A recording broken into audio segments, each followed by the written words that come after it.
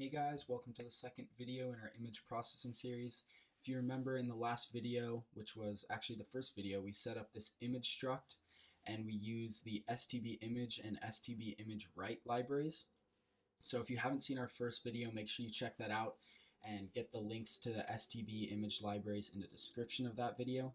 Uh, but today we're actually going to be making our first filter, which is going to be the grayscale filter. So very simple one, but a good one to have. So let's get right into that. Alright, so first thing we will do here is declare our grayscale functions in the .h file. And the reason I say functions plural is because we'll actually be defining two grayscale functions today. There are many ways to define them but the two we will be covering are the grayscale average, as I call it, and the grayscale loom, as I call it. And so basically, what the grayscale average is, is kind of the straightforward approach to grayscale. We're just going to sum up the red, green, and blue channel values and then average them, so divide by 3, and then we'll take that average and set each of the channels back to that value, creating a gray pixel.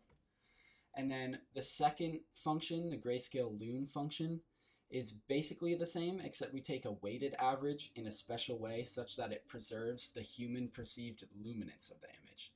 So don't worry if that sounds too complicated. We're going to get more into that later. Let's just start with the grayscale average function for now. Okay, so we can begin this function definition by checking the number of channels. If the number of channels is less than 3, then we're basically going to assume that the image is already grayscale and we're just not really going to process it with our filter at all. So we can print this little message to the console just in case this ends up happening in our code. Uh, but otherwise, we do want to process the image, so we can start by looping through our pixel data.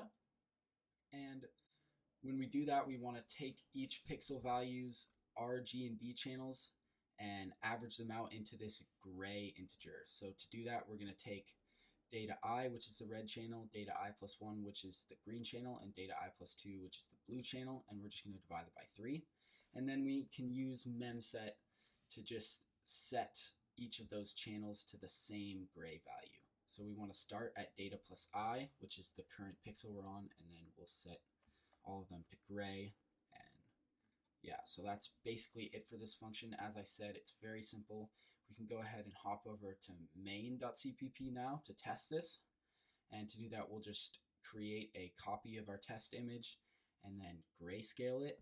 And then we can write that to a file. So once we got that down, we can go ahead and run that. If we hop over here, and as you can see, our image was created right here, and it is in fact a grayscale version of our original image, which is exactly what we wanted. So now we can kind of start talking about our second grayscale function, which is going to be the grayscale loom function.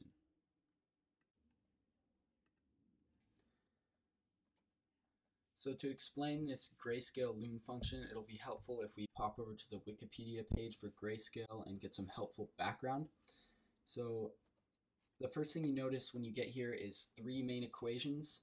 The first equation at the top is what's called gamma expansion. And basically it converts from a nonlinear form that image files are often stored in to the linear form, which is what we want to work with. So that's just linear red, green, and blue channel values. And once we get that, which STB image actually does that for us, so we don't even have to worry about that first equation up there. We just need to use a second equation, which is the weighted average or linear combination of each of the channels to get our gray value, which is called y linear on this page. And then that last function, that's actually called gamma compression, which again, STB image does that for us. So we don't actually need to worry about converting back to the nonlinear form. And just to show you that STB image does actually support conversion out of this nonlinear form, if you look over here in the STB image file, we see that they say they assume a gamma value of 2.2, and you can actually modify this gamma value, but we're not going to do that. We're just going to stick with the standard one. So we can go ahead and hop back over to the code and get into our grayscale loom function definition. So we can start off the same exact way. And actually, our main block of code is going to be mostly the same. The only thing we need to change is this uh, gray value. Instead of averaging the three, we need to take our weighted linear combination, so our weighted average with those values we got from Wikipedia. And the reason they're different is because humans actually see the frequency of green as a lot brighter than other frequencies. So that's why you see that green has the highest weighting there. Uh, red has the next highest and blue has the least. So it basically just kind of matches how humans perceive different colors. And so that's all we're changing, just that gray value. And then we can go ahead back over here, test it. This time we're testing gray loon, so we can go ahead and change all these names to gray loon. And then we can go ahead and run it and see how it looks.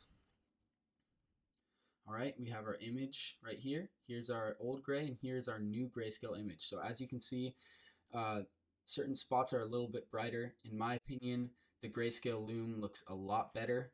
Let me know what you guys think down in the comments and we'll catch you guys in the next image processing video. See ya.